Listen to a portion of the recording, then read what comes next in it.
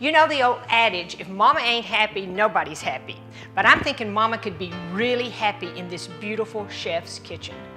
Great patio home built by Jerry Hunter, featuring approximately 2,359 square feet, three bedrooms and two baths, and a basement. Be impressed by the knockout kitchen with beautiful custom treatments, including cedar beam ceiling. There are wood floors, all upscale amenities, all granite and marble. The isolated master bedroom is huge.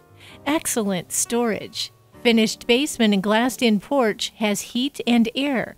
Also has side patio open to the yard. Large front porch with porch swing. Very well maintained. I hope you enjoyed the tour of this beautiful three bedroom, two bath home with a basement.